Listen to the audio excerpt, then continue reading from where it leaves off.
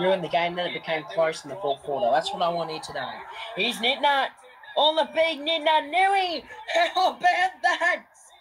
Oh, the big ruckman out of the middle. They've come from nowhere, the Eagles. Oh, that is one of the goals of the season.